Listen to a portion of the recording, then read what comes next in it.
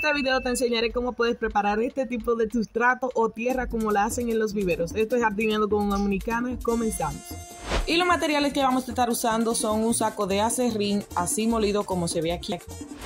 También estaremos ocupando la ceniza de la cascarilla de arroz que se consigue en la misma factoría donde se muele. Por otro lado, también estaremos usando la gallinaza ya bien procesadita, o sea que no directamente sacada del gallinero, sino ya cuando haya hecho su proceso de descomposición. Un saco también. Una vez que ya tengamos estos tres elementos, lo vamos a mezclar bien. Vamos a tratar de mezclarlo bien, bien antes de ponerle el último ingrediente que es la tierra. Vamos a tratar de que el acerrín se mezcle con la gallinaza y la ceniza de la cascarilla de arroz. Es necesario que mezclemos bien ahora porque cuando añadimos la tierra se hace un poquito más pesado.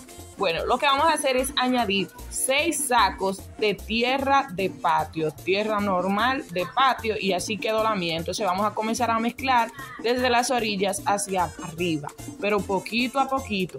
El proceso de la mezcla hay que hacerlo por lo menos de 3 a 4 veces. Es un proceso bastante cansado, o sea, se trabaja mucho haciéndolo, pero es necesario para tener los más óptimos resultados con nuestra tierra orgánica o tierra suelta para nuestras plantas. Muchas personas estarán pensando que eh, también el estiércol de la vaca es un ingrediente muy bueno para la tierra también, sí, funciona, pero yo no la había encontrado, entonces por eso usé simplemente la gallinaza, que es otro material orgánico para darle ese abono natural que necesita la tierra.